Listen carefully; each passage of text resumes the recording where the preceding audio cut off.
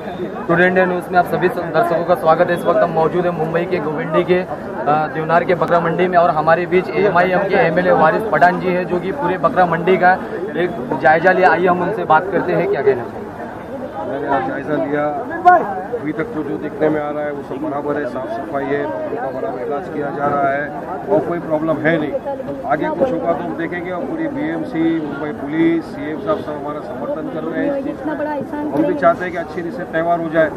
जो लोग खरीदने आते हैं उनको तकलीफ़ नहीं हो बेचने वालों को तकलीफ़ नहीं हो और स्थानिक लोगों को तकलीफ़ नहीं हो। और एक त्यौहार अच्छी से सुखी से बन जाए। साफ़ सफ़ाई तो है ही और हमारी टीम 24 घंटा लगी हुई है। हमारे जो एमआईएम के कॉरपोरेटर है वो भी लगे हुए हैं। पूरी हमारी एमआईएम की जो टीम है यहाँ की वो पूरी लगी हुई है। सब देखभाल कर रहे हैं। जैसा कि एक बारह अठारह घंटे से एक सोशल मीडिया में वायरल न्यूज़ हो रही है कि वीडियो हो रहा है कि बकरे को दारू पिलाया गया। इसके बारे में क्या ये ऐसा लग रहा है। अभी हमने जो मैनेजर से बात की उन्होंने हमको पूरा बताया। कि ये लग रहा है कि गलत न्यूज़ हमने इंक्वायरी की है, चौकसी की है, जो बाड़ा नंबर 388 का था, उससे बात करी है, वो बोलता है कि नहीं, किसी को नहीं पिलाया गया है। और अगर किसी ने हरकत की है तो छानबीन कर रही है पुलिस भी।